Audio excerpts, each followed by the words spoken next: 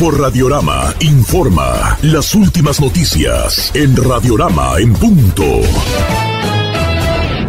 A las 8 en punto le presentamos un resumen estatal de noticias. El alcalde de Tepic, Francisco Javier Castellón, no descartó proponer cuarentena para el centro de la ciudad. Protestaron instructores de Zumba en la Plaza Bicentenario en reclamo de un espacio al aire libre para ejercitarse dan un espacio Internet gratis a estudiantes en el PAN en Tepic, informó Rodolfo Pedrosa, dirigente del partido en el municipio. Cientos de permisos de taxi y combis en manos de la familia de Carlos Aldate deben entregarse a choferes con antigüedad, pidió Citranay. Se reforzaron los operativos durante los fines de semana en Ciudad del Valle para evitar arrancones, informó el ayuntamiento.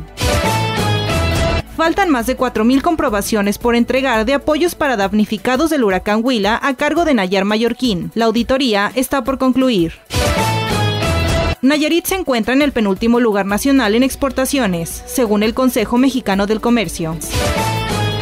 Agradecemos sus comentarios, dudas y sugerencias a nuestra página de Facebook Radiorama Nayarit. Grupo Radiorama informó cada hora a través de Radiorama Network las últimas noticias. Radiorama en punto. La radio también se escucha en internet a través de www.radioramanayarit.mx. Verónica Redondo en punto.